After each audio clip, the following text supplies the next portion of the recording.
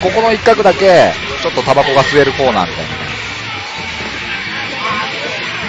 俺、アレック使えねえからなアレクはね、敷居高いからね。相当ね、あの、いろんな人が使って、折れていったね。うん、天蔵アレクとか超強いんだけどね。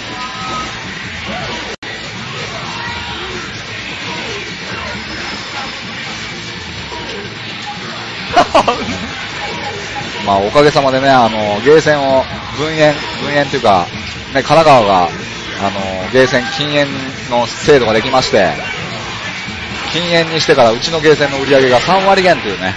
3割減。3割減。素晴らしい。でもあれってさ、絶対そうしなきゃいけないってわけじゃないんでしょしなきゃいけない。あこの、今1年間は、あの、努力義務みたいな。だから、や、やらなくても、あの、特に罰則はないんだけど。別にいいんじゃねえの？だってお前きついべ、実際。超きついね。うんタバコ吸う人多いんだもんだって。もうね、禁煙にしたら来ますよとかいうお客さんいるんだけど、来ねえから。来ねえんだ。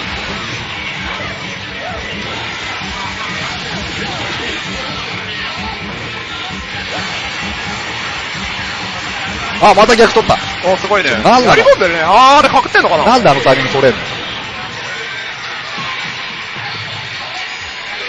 やべえな、YSV。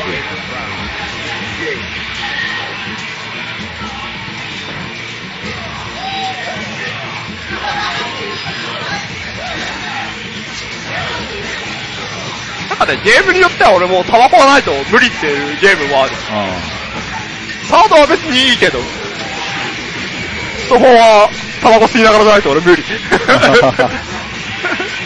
まあねイ。ラつきが半端ない、あのゲーム。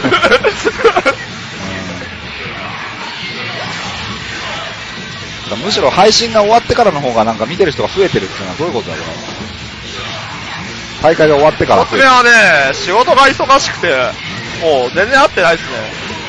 あ、一つ目ね。今ゲームやってんのかな？